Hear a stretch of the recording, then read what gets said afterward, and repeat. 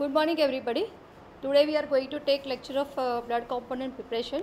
Myself, uh, Dr. Shreeta Soni, Assistant Professor in UNM ICRC.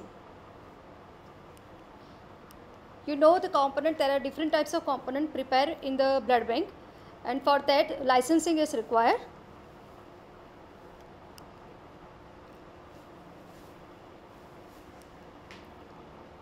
So development of component therapy. Previously there is only whole blood. There is no type of uh, component is available. But with the invention of the polyvinyl chloride bags like PVC bags introduced in the 80s, by that we can find uh, we can prepare the different types of component with the help of bags. Different components are there that is platelet, FFP, cryo and uh, PCV. For cancer patient, platelet is more required. In case of DIC, there is platelet and cryo is required. In case of hemophilia, cryoprecipitates we able to give. So basic principle of uh, component preparation, it is prepared by the centrifugation that is high speed centrifugation and that is a refrigerator centrifugation. So two types is important that is a centrifugation and the temperature that is maintained inbuilt in the refrigerator centrifuge. So first is the sedimentation method of uh, separating the components. Previously there is no uh, centrifuge available. Uh, uh, so at that time the, what they do, they, pre, uh, they keep the bag for long time and by upright position the components can be separated by automatically that is plasma separated uh, above and the PCV in the below and by that they will remove the plasma manually and they give the PCV to the patient. There are different types of component previously only whole blood and the, now we are able to separate the different components like platelet, FFP, cryo. There is a different also uh, specialized components also available that is saline wash RBCs, irradiated components, leucoreduced components. So preparation of the components, planning a component lab, there are different types of uh, requirement is there. First is that is a refrigerator centrifuge then adequate space is required that is 50 uh, square meter that is a minimum space for the component lab. Then uh, there is different types of bag is available that is double, triple, quadruple and now also penta bag is available. By that we also require the trained staff for the component preparation because it requires a technical skill. Then we do the component uh, QC because whenever the, we prepare the components we need to know that it is a prepared in proper way that is quality is maintained and for that one and above that is license is also required for the component. So for component preparation the basic requirement is blood donors. When the donors are not there we can't get blood. So for donors the fulfilling criteria is HB should be more than 12.5 gram, weight is 45 kg minimum that is for the 350 ml bag and uh, 50 uh, kg for the 450 ml bag. There are also different uh, requirements like no aspirin should be taken for when the, we prepare the platelet components and the single venipuncture is required because if we do the sing, uh, double puncture then the platelet can be adhere and the component quality can uh, so basic blood donor criteria is uh, HP should be more than 12 એટલે બાર point પાંચ કરતાં haemoglobin વધારે હોવું જોઈએ અને minimum weight important weight એટલા માટે છે કે કારણ કે આપણે જે કેપેસિટી ઓફ બેગ છે એના પ્રમાણે એનું વેઇટ ઇમ્પોર્ટન્ટ છે એટલે પિસ્તાળીસ કિલોવાળું વજન હોય એનું આપણે થ્રી ફિફ્ટી એમએલ બ્લડ લઈએ છીએ અને ફિફ્ટી કેજી વેઇટ હોય તો ફોર ફિફ્ટી એમએલ બેગ લઈએ છીએ બીજા જે બેઝિક ક્રાઇટેરિયા છે કે જે ડ્રગ ના હોવી જોઈએ. So single blood puncture is require કારણ કે પ્લેટલેટ છે એ ત્યાં એડહર થઈ જાય, મતલબ ચોંટી જાય. એટલા માટે આપણે પ્લેટલેટ કોમ્પોનન્ટ પ્રિપેર બનાવવું હોય ત્યારે સિંગલ વેની પંક્ચર જોઈએ. પછી એસ્પિરિન ટેબ્લેટ્સ છે એ ના લેવેલી હોવી જોઈએ કે જે બી પ્લેટલેટને ઇન્ટરફિયર કરે છે. અને એનો જે કલેક્શન ટાઈમ છે એ દસ મિનિટથી વધારે ના હોવો જોઈએ. So there are different types of components and for that. Different equipments is also require we know કે સૌથી ઇમ્પોર્ટન્ટ છે કે એક વેઇંગ બેલેન્સ કે બેલેન્સિંગ ઇઝ સૌથી મોટું ઇમ્પોર્ટન્ટ પાર્ટ છે કારણ કે સ્પેસિફિક ગ્રેવિટીના પ્રિન્સિપલ પર કોમ્પોનન્ટ કામ કરે છે. So weighing balance require refrigerator centrifuge, then laminar air flow કારણ કે જે આપણે કોમ્પોનન્ટ બનાવીએ છીએ તેટ ઇઝ સ્ટરિલિટી મેન્ટેન કરવા માટે. અને એ પૂરી સ્ટરિલાઇઝેશન પ્રોસેસ એમાં વચ્ચેથી કોઈ પણ બેગ આપણે ખોલતા નથી. ક્લોઝ સિસ્ટમ છે. સો ક્લોઝ સિસ્ટમ મેન્ટેન કરવા માટે લેમિનર એરફ્લો જોઈએ. પછી જે આપણે કોમ્પોનન્ટ બનાવીએ છીએ એ દરેકને એક ડિફરન્ટ ટાઈપ ઓફના ફ્રીઝ હોય છે કે જેમાં એને મૂકવાના હોય. જેમ કે એફએપી છે તો ડીપ ફ્રીઝરમાં મૂકવાના થાય. દેન પીસીવી હોય, જે પેક્સેલ વોલ્યુમ હોય, એ આપણે ફોર ટુ સિક્સ ડિગ્રીના ટેમ્પરેચર પર મેન્ટેન કરવું પડે. પ્લેટલેટ માટે આપણે પ્લેટલેટ એજિટેટર યુઝ કરીએ છીએ. So different uh, require require different equipments then additional is sterile tubing device કે જ્યારે આપણે કોઈપણ બેગને ક્લોઝ સિસ્ટમ રાખવી હોય તો કોઈપણ બેગને એટેચ કરવી હોય તેના માટે સ્ટરાઇલ ટ્યુબ કનેક્ટિંગ ડિવાઇસ જોઈએ. Then uh, gamma irradiator that is for irradiated components અને cell separator that is for single donor platelets આપણે લેવા હોય કોઈ પણ ડોનરમાંથી જે એ ફરસસ મેથડ કહેવાય કે જેને આપણે એક જ ડોનરમાંથી લઈને આપણે એને કલેક્શન કરી અને આપીએ છીએ. So there are different types of bag available for the component separation એ જે બધી બેગ હોય, એ બધી અલગ અલગ ટાઈપની બેગ હોય ને જે દરેક એકબીજા સાથે એટેચ હોય. જેને કહેવાય ઇન્ટિગ્રેટેડ બ્લડ બેગ્સ કે એક બેગ બીજી બેગ સાથે એટેચ હોય. પણ વચ્ચે એક લોક સિસ્ટમ હોય કે જેને લોક આપણે જ્યારે બી ખોલીએ, ત્યારે પછી જ એ બીજા બેગમાં એ સેપરેશન થઈ શકે. So important is quadruple blood bags for that we require four bags તેમાં એકમાં આપણે કલેક્શન લઈએ અને એમાંથી આપણે ડિફરન્ટ કોમ્પોનન્ટ સેપરેટ થાય. જેમ કે FFP PCV and platelets and from FFP we separate cryoprecipitates. So that is a basic principle preparation protocol for the blood component first જ્યારે કોઈ પણ બેગ આપણે આવે, ત્યારે એનું વેઇટ બેલેન્સ કરવામાં આવે. કારણ કે વેઇટ બેલેન્સ એ બહુ ઇમ્પોર્ટન્ટ વસ્તુ છે. અને એ બે બેગનું આપણે બેલેન્સિંગ કરવામાં આવે, પછી તેને સેન્ટ્રીફ્યુઝિકમાં મૂકવા માટે રેફ્રિજરેટર સેન્ટ્રીફ્યુઝ હોય કે જેમાં હાઈ સ્પીડ પણ હોય, સાથે ટેમ્પરેચર પણ ઇનબિલ્ટ મેન્ટેન થાય અને પછી એને આપણે સેપરેટ કરવામાં આવે. That is plasma expression so basic principle of this કે સેન્ટ્રિફિકેશન તો સેન્ટ્રિફિકેશન એ કયા પ્રિન્સિપલ પર કામ કરે? કારણ કે આપણે જે ડિફરન્ટ કોમ્પોનન્ટ સેપરેટ કરીએ છીએ એ ડિફરન્ટ સ્પેસિફિક ગ્રેવિટીના હોય છે, કે જેથી જે બહુ હેવી હોય, એ સૌથી નીચે આવી જાય. સો આપણે જ્યારે સેન્ટ્રિફિકેશન કરીએ કોઈ પણ બેગનું ત્યારે નીચે સૌથી નીચે જે આવે દેટ ઇઝ પેક આરબીસી પછી બફીકોટ બને, જેમાં ડબ્લ્યુબીસી અને પ્લેટલેટ્સ હોય, અને સૌથી ઉપર સેપરેટ થાય that is plasma so component separate by the high speed centrifugation so protocol for the preparation of the red cell components કે જે આપણે હોલ બ્લડ હોય, એને આપણે પહેલાં સોફ્ટ સ્પિન આપીએ અને સોફ્ટ સ્પિનમાંથી જ્યારે એને બહાર કાઢીએ ત્યારે આપણને બે કોમ્પોનન્ટ દેખાય જે સૌથી નીચે હોય that is red blood cells અને ઉપર જે સેપરેટ થાય દેટ ઇઝ પ્લાઝમા જેને કહેવાય platelet rich plasma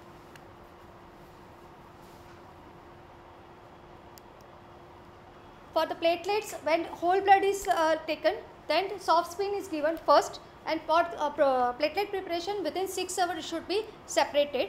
તો red cell separated as I said કે એ નીચે સૌથી નીચે આવી જાય અને ઉપર જે સેપરેટ થાય that is platelet rich plasma અને એને અગેન આપણે હાઈ સ્પિનમાં હાર્ડ સ્પીન આપીએ એટ ટ્વેન્ટી ટુ ડિગ્રી અને એનાથી જે સેપરેશન થાય દેટ ઇઝ પ્લેટલેટ નીચે આવે અને ઉપર જે થાય એ platelet poor plasma for the pre centrifugation ત્યારે સર્ટેન રિક્વાયરમેન્ટ્સ કે જ્યારે પણ આપણે હોલ બ્લડ કલેક્ટ કર્યું હોય, તો એને આપણે બે અવર કલાક માટે થોડી વખત મૂકી રાખીએ once platelet is prepare so maintenance the pH of platelets then centrifugation માટે શું ઇમ્પોર્ટન્ટ વસ્તુ છે?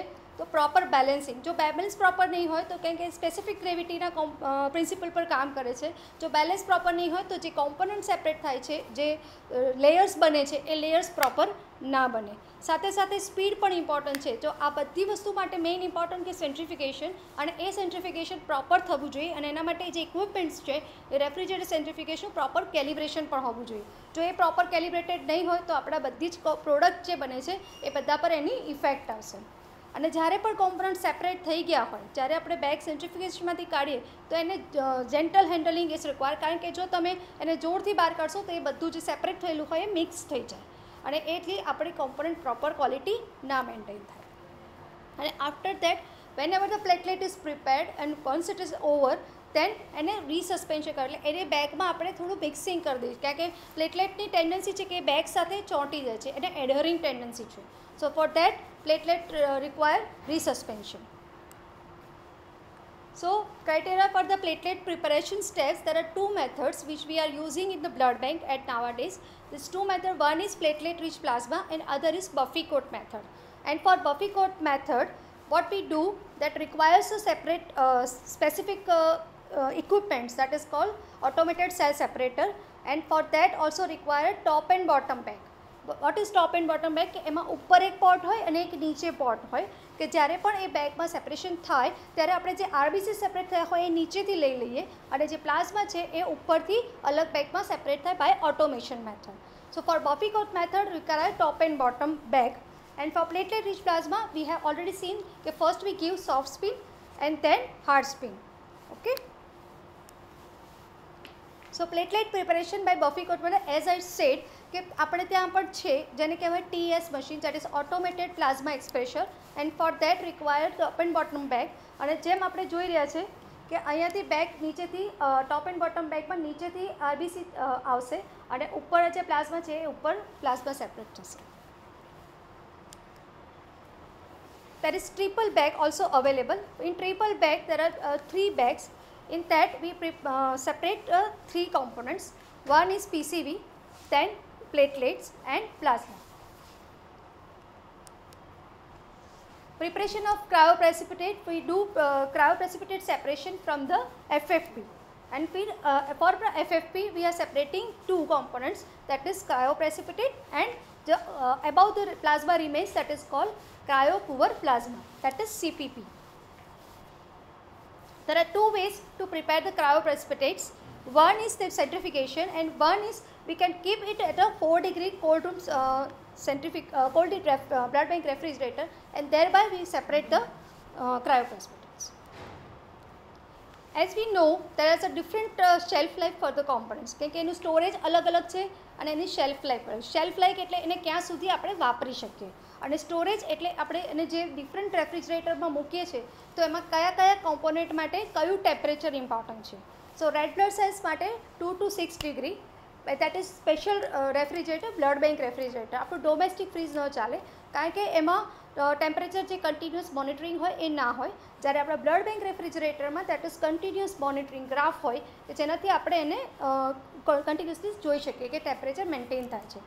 Then FFP and cryo for that we require deep freezer deep freezer એટલે માઇનસ ફોર્ટી ડિગ્રી ટેમ્પરેચર હોય, કે જેમાં એનું સ્ટોરેજ થઈ શકે. શેલ્ફ લાઈફ મેં જેમને કીધું કે શેલ્ફ લાઈફ એટલે એને ક્યાં સુધી તમે વાપરી શકો. So red blood cells for that જે રૂટીન આવે છે, જેમાં સાગમ ન હોય. સાગમ એટલે એક ટાઈપનું એડિટિવ સોલ્યુશન છે, જે રેડ બ્લડ સેલ્સની જે શેલ્ફ લાઈફ છે, થોડી વધારે છે. સો જ્યારે સાગમ એડ થયેલું હોય રેડ બ્લડ સેલ્સમાં ત્યારે આપણે એને ફોર્ટી ટુ ડેઝ સુધી આપણે યુઝ કરી શકીએ સેલ્ફ લાઈફ છે. જ્યારે જે રૂટીન હોલ બ્લડ હોય, કે જેમાંથી આપણે આરબીસી બનાવ્યા હોય, તો એ થર્ટી ફાઇવ ડેઝ સુધી જ વેલિડ છે. For it is, is shelf life is one year and for cryo that is five years okay platelets માટે પાંચ જ દિવસ છે. અને એના માટેનું સ્ટોરેજ ટેમ્પરેચર જેમ કીધું કે એને કન્ટિન્યુઅસ એજિટેશન જોઈએ અને ટ્વેન્ટી ટુ ડિગ્રી એનું રિક્વાયરમેન્ટ છે સ્ટોરેજ ટેમ્પરેચર કોમ્પિટેબિલિટી એટલે શું? કે જે આપણે ક્રોસમેચ કરીએ છીએ. જે આપણે દરેક કોમ્પોનન્ટને ક્રોસમેચ નથી કરતા. તો કયા કોમ્પોનન્ટને ક્રોસમેચ કરવાનું? તો રેડ બ્લડ સેલ્સ છે જેના માટે ક્રોસમેચ રિક્વાયર્ડ છે. જ્યારે એફએફપી અને ક્રાયો માટે ક્રાયો તમે કોઈ બી ગ્રુપનું યુઝ કરી શકો. જ્યારે એફએફપી છે, એને એબીઓ કોમ્પેટેબિલિટી એબીઓ એટલે blood પેશન્ટનું group for example A positive છે, તો એનું એ યુઝ કરવાનું. બી હોય તો બી યુઝ કરવાનું. And for platelet preferably ABO crossmatch હોય તો વધારે સારું. કેમ? કારણ કે પ્લેટલેટમાં ઘણી વખત થોડાક આરબીસી આવી જતા હોય છે. જેને કહેવાય આરબીસી કોમ્પો કોન્ટામિનેશન જો આરબીસી કોન્ટામિનેટેડ હોય, તો આપણે એવું ટાઈપનું જે પ્લેટલેટ હોય, એ આપણે કોઈને પણ ન આપી આપી શકીએ. સો એના માટે preferably ABO crossmatch ABO match platelet required and for specifically HDP that is single donor platelet કે જે આપણે એક જ ડોનરમાંથી લઈ, અને એના માટેનું સ્પેશિયલ મશીન હોય છે જ્યારે કહેવાય સેલ સેપરેટર એને એ ફેરેસિસ મેથડથી આપણે પ્લેટલેટ સેપરેટ કરીએ અને એ જે પ્લેટલેટ હોય એના માટે આપણે સ્પેસિફિકલી એબીઓ મેચ યુઝ કરીએ છીએ donor. So in case of blood component transfer to clinical areas like આપણે જ્યાંથી, અહીંયાથી સપ્લાય થાય કોઈ પણ જે વસ્તુનું, તો એઝ ફાર એઝ પોસિબલ કોઈ બી કોમ્પોનન્ટ તમે લઈ જાઓ બ્લડ બેંકમાંથી તો it should be use within short time like કે for FFP thirty minutes for platelet it should be immediately use and for whole blood or RBC that is half a double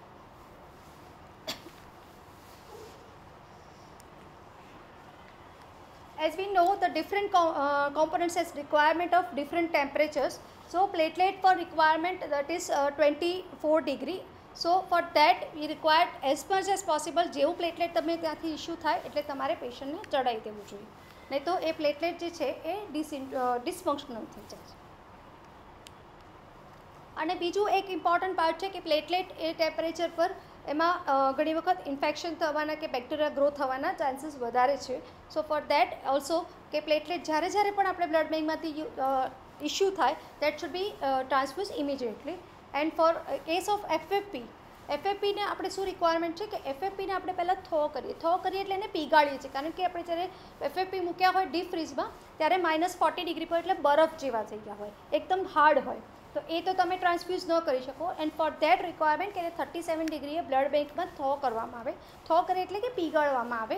અને પછી એને આપણે issue કરીએ અને given to the patients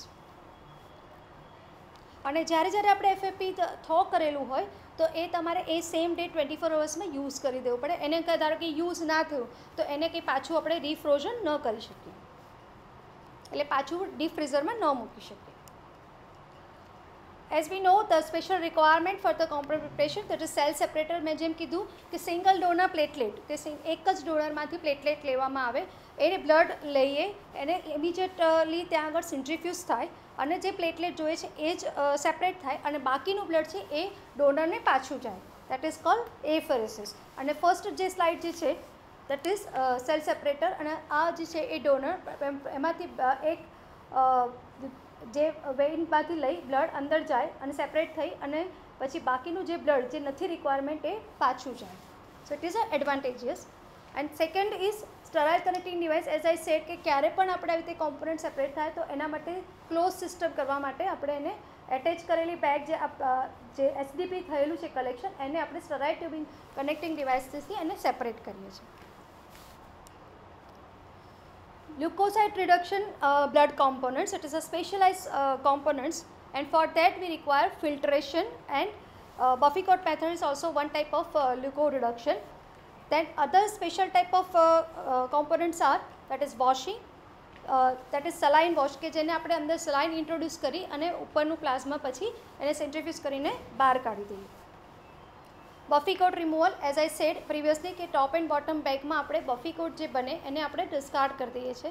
so that કારણ કે buffy કોટ એ આપણે જેમ પહેલાં જોયું સ્લાઇડમાં કે સેન્ટ્રિફિકેશન કરો, ત્યારે સૌથી નીચે આરબીસીસ આવે અને મિડલમાં જે બફી કોટ આવે જેમાં લ્યુકોસાઇટ અને પ્લેટલેટ્સ હોય. અને જ્યારે લ્યુકોસાઇટ આપણે રિડક્શન કરવા હોય, ત્યારે આપણે બફી કોટને રિમૂવ કરીએ તો લ્યુકોસાઇટ પણ રિડ્યુસ થઈ જાય. એટલે લ્યુકોસાઇટ નીકળી જાય. આપણે કાઢી નાખીએ. વ્હાઇટ બ્લડ સેલ્સને આપણે નથી જરૂર, કારણ કે એ તમને પેશન્ટમાં એન્ટીબોડી ડેવલપ કરે છે. જો આપણે એ કાઢી નાખીએ અને એ સ્પેસિફિકલી એવા કોમ્પ જેમાં કે બહુ જ બધું બ્લડ જતું હોય. જેમ કે થેલેસીમિયાવાળા બાળકો. કે થેલેસીમિયાવાળા બાળકોને બહુ જ બધું બ્લડ જતું હોય છે વારે ઘડીએ તો એ બહુ જ બધા ડોનરને એક્સપોઝર થાય અને જો એમાં એમને ડબ્લ્યુબીસી બી એક્સપોઝ થાય, તો એ લોકોમાં એન્ટીબોડી ડેવલપમેન્ટ થવાના ચાન્સીસ વધારે છે.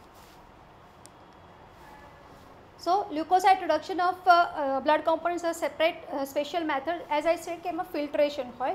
કે જે આ ફિલ્ટર કરવામાં આવે, બ્લડને કલેક્શન કરી અને આરબીસીને એક સ્પેશિયલ ફિલ્ટરમાંથી પાસ કરવામાં આવે અને એને લીધે એ જે ડબલ્યુબીસી હોય એ આ ફિલ્ટરમાં એડહર થઈ જાય. That is filter is the three types at the bed side એટલે જ્યારે આપણે પેશન્ટને ચડાવીએ છીએ ત્યારે યુઝ કરી શકાય. ઇન ધ લેબોરેટરી કે જે આપણે બ્લડ બેંકમાં યુઝ કરીએ અને બિફોર કલેક્શન પણ આપણે એને યુઝ કરી શકીએ so concept of log production કે જે પ્રિવિયસલી ફિલ્ટર આવતા હતા એનામાં લોગ પ્રોડક્શન હતું એના લેવલ છે. સો દેટ ઇઝ આપણે જે અત્યારે થાય છે એ three log production that is ten to five જેટલા આરબીસી અંદર બચે અને it is a beneficial ninety nine point nine percent જે લ્યુકોસાઇડ છે એ રિડ્યુસ થઈ જાય. This is a special component that is irradiated components and it is available in the uh, campus that is in the uh.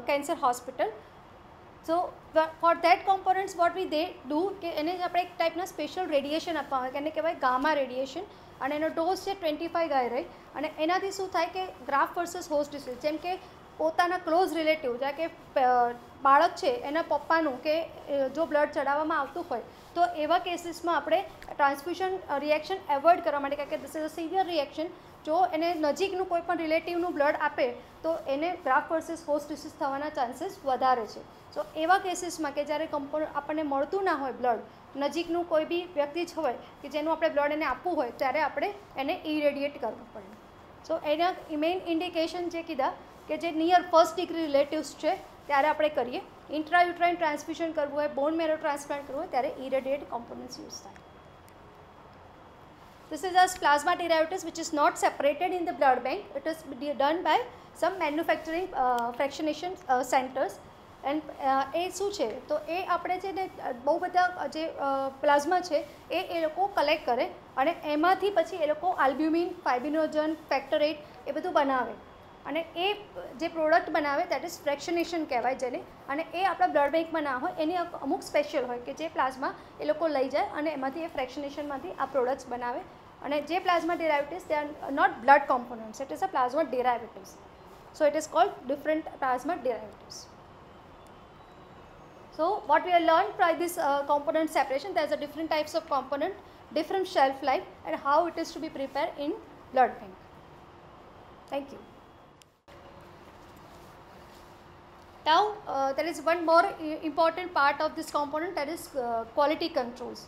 Because whatever the product we are preparing, we should know that is the quality of products is well or not. એટલે કે જ્યારે પણ આપણે કોઈ પણ component કે આ product છે પ્રોડક્ટ એટલે કોઈ પણ વસ્તુ બનાવવામાં આવે છે એને કહેવાય મેન્યુફેક્ચરિંગ તો એની ક્વોલિટી સારી નહીં હોય તો આપણે જે પેશન્ટને ચડાવીશું તો એને કોઈ બેનિફિટ થશે નહીં. એટલા માટે આપણે એને ક્વોલિટી ચેક્સ કરવા પડે અને એના શું ક્રાઇટેરિયા હોય કે દરેક કોમ્પોનન્ટનું અમુક સ્પેસિફિક ક્રાઇટેરિયા છે કે જેના લીધે આપણને ખબર પડે કે આપણે જે કોમ્પોનન્ટ પ્રિપેર કરીએ છીએ એની ક્વોલિટી કઈ રીતની છે. રાઈટ તો for that certain criteria is that કે one percent of the whole blood component એટલે આપણે જેટલું બી કલેક્શન થયું હોય, બરાબર? એમાંથી one percent should match the undergo QC checks એટલે આપણા જે કલેક્શનના વન પર્સન્ટ કોમ્પોનન્ટને આપણે ક્યુસી ચેક કરીએ, અને એમાંથી સેવન્ટી ફાઇવ પર્સન્ટ ધારો કે આપણે પાંચ ટેસ્ટ માટે લીધા, તો એમાંથી સેવન્ટી ફાઇવ પર્સન્ટના જે કોમ્પોનન્ટ છે, એના ક્રાઇટેરિયામાં મેચ થવું જોઈએ, એટલે એના quality checks should be maintain So first is we have know already there are different types of component. First is whole blood which we are not using regularly but in some blood banks where there is a uh, is less amount of uh, uh, donors for that they use whole blood when they are uh, when the bag is not available like quadruple triple pointer bag is not available then they use whole blood. And the whole blood should also be have certain QC criteria. That is the first important part of the uh, whole blood uh, QC criteria is volume volume સારું હોય તો જ આપણે એનું પેશન્ટને benefit થાય. અને એની સાથે સાથે કેમ આપણે વોલ્યુમની ઇમ્પોર્ટન્સ છે? કારણ કે બેગની અંદર એન્ટીકોગ્યુલન્સ હોય છે. જો તમારું વોલ્યુમ ઓછું હશે તો એ એન્ટીકોગ્યુલન્ટ એની સાથે મિક્સ થાય છે, જેનું, એની સાથે એનું પ્રપોર્શન હોય છે. જો એ પ્રોપર નહીં હોય, તો જે આખી પ્રોડક્ટ બને એ પ્રોપર ના હોય. સો વોલ્યુમ ઇઝ આપણે કહીએ કે થ્રી ફિફ્ટી એમએલ બેગ હોય અથવા તો ફોર ફિફ્ટી એમએલ બેગ તો plus or minus ten percent ten percent એટલે થ્રી ફિફ્ટી એમએલ બેગ હોય, તો એમાં આપણે પ્લસ કરીએ તો થ્રી સિક્સટી. બરાબર? ટેન એડ કરવાનું. સો થ્રી સિક્સટી એમએલ સુધી તમે એમાં વોલ્યુમ હોય તો એ ઓકે કહેવાય. અને એવી રીતે થ્રી ફિફ્ટીમાંથી ટેન માઇનસ કરો, એટલે થ્રી થર્ટી ફાઇવ સુધીનું આપણે વોલ્યુમ પ્રોપર ગણાય. બરાબર? સાથે એનું હિમેટોક્રિટ. જે આપણે હોલ બ્લડ છે, એનું હિમેટોક્રિટનું ક્રાઇટેરિયા છે થર્ટી ટુ ફોર્ટી પર્સન્ટ અને આપણે એની સ્ટરિલિટી પણ ચેક કરીએ છીએ કે જેથી એનું અંદર કોઈ ઇન્ફેક્શન કે બધું છે નહીં કે બેક્ટેરિયા ગ્રો છે કે નહીં. Because of storage sometimes the bacteria will grow second is red blood cells that is PCV અને red blood cells in additive solution additive solution કહે કે આપણે હવે જે બેગ આવે છે, એ બધી આપણે બ્લડ બેગમાં યુઝ કરીએ છીએ that is with SAGM SAGM એટલે સલાઇન એડિટિવ સોલ્યુશન અને એ જે સાગમ યુઝ કરે છે, એનાથી એનું ઇમ્પોર્ટન્ટ પાર્ટ શું છે કે જેથી એની શેલ્ફ લાઈફ વધે છે. આપણે એને બેતાળીસ દિવસ સુધી વાપરી શકીએ છીએ. સો એનું વોલ્યુમ જે છે પીસીબીનું એ should not be more than three hundred ML અને એનું હિમેટોક્રિટ છે ફિફ્ટી ટુ સેવન્ટી પર્સન્ટ હોવું જોઈએ. બરાબર? સાથે સાથે એનું બી સ્ટરેટિક આપણે ચેક કરીએ છીએ. ટેન પ્લેટલેટ જેમ મેં કીધું કે પ્લેટલેટ ઇઝ આપણે સ્ટોર કરીએ છીએ ટ્વેન્ટી ટુ ડિગ્રી જે પ્લેટલેટ એજિટેશન માટે હોય છે અને એમાં બેક્ટેરિયા ગ્રો થવાના ચાન્સીસ સૌથી વધારે છે કારણ કે ટેમ્પરેચર એનું વધારે હોય એટલા માટે. બરાબર? સો એનું volume more than forty five ML count is more than point five into ten to power eleven અને જો વોલ્યુમ એનું હોય તો વધારે ના હોય, ઓછું થઈ જાય, તો એનું પીએચ ડ્રોપ થાય. અને પીએચ એ બહુ ઇમ્પોર્ટન્ટ પાર્ટ છે પ્લેટલેટના સ્ટોરેજ માટે મેન્ટેન કરવા માટે. તો pH should be more than six એનું પણ આપણે સ્ટરિલિટી ટેસ્ટિંગ કરવું જ પડે, કારણ કે એમાં બેક્ટેરિયા ગ્રો થવાના ચાન્સીસ મેક્સિમમ છે. સાથે સાથે આપણે અમુક વિઝ્યુઅલ ચેક જેમ કે પ્લેટલેટને આપણે, આ જે હોય, એને આપણે ઉપર લઈ અને આમ જોઈએ છીએ કે જેમાં અત્યારે આપણે રૂના તાતરા જેવું દેખાય, જેને કહેવાય સ્વર્લિંગ કે સ્વર્લિંગ મુવમેન્ટ હોય તો આપણને ખબર પડે કે એમાં પ્લેટલેટ જે છે એ વાયેબલ છે. બરાબર? સાથે સાથે પહેલાં આપણે વાત એમ કે આરબીસી કોન્ટામિનેશન આરબીસી કોન્ટામિનેશન જો થોડું ઘણું બી હોય, તો it is valid like less than point one into ten is to twelve per litre WBC contamination બી ના હોવું જોઈએ. દેન એસડીપી એસડીપી એ શું છે? સિંગલ ડોનર પ્લેટલેટ જે આપણે સ્પેસિફિક સેલ સેપરેટરથી સેપરેટ કરીએ છીએ.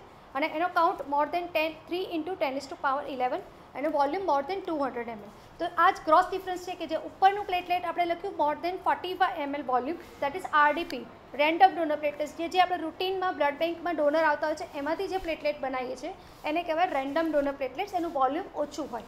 જ્યારે single donor platelet single donor platelets આપણે સેલ સેપરેટર જે કે એફેરેસિસ મેથડથી આપણે સેપરેટ કરીએ છીએ અને એનું વોલ્યુમ હોય છે more than two hundred M so it is a beneficial કે ધારો કે કોઈ પેશન્ટને પ્લેટલેટ કાઉન્ટ બહુ જ ઘટી ગયું છે, જેમ કે ડેન્ગ્યુવાળા પેશન્ટ તો એમાં આપણે જો સિંગલ ડોનર પ્લેટલેટ આપીએ તો ઇટ ઇઝ બેનિફિશિયલ નહીં તો આપણે જો પેલું આરડીપી આપીએ તો આપણે એનો બહુ જ બધું વોલ્યુમ બી એડ થાય એટલે બહુ બધા ડોનર એક્સપોઝ થાય અને એનું વાયબિલિટી જે કહેવાય પેશન્ટને બેનિફિશિયલ છે એ ઘણી વખત ઓછું પણ.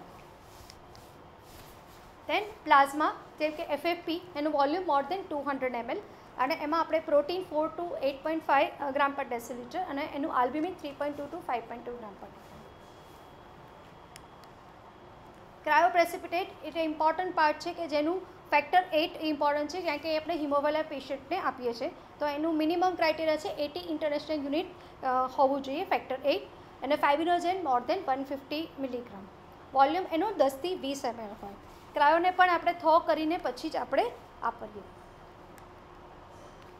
thank you everybody now thank you very much for the whole session questions આપવામાં આવશે કે જે ક્વેશ્ચન્સના આન્સર તમારે તમારા student name student ID course અને એ તમારે બધા જ આન્સર લખી અને જે ઈમેલ આઈડી આપવામાં આવે એમાં સબમિટ કરવાના રહેશે. Thank you very much